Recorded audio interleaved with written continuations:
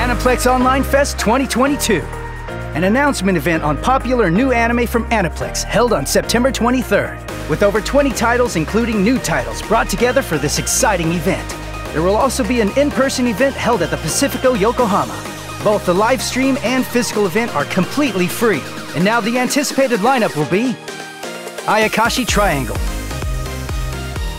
Engage Kiss, Solo Leveling, Kaguya sama, Love is War, Demon Slayer, Kimetsu no Yaiba, Raven of the Inner Palace, Saint Cecilia and Pastor Lawrence, My Dress Up Darling, Tomo-chan is a girl, NieR Automata, All Saints Street,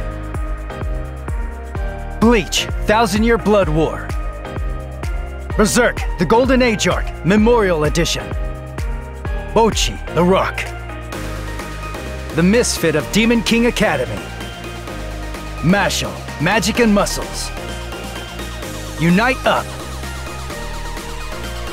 Lycoris Recoil, and Rurouni Kenshin. Don't miss live performances by fantastic musical guests. Only at AOF on September 23rd. Live stream attendance is completely free of charge. Applications to attend the in person event are open now. We look forward to seeing you there.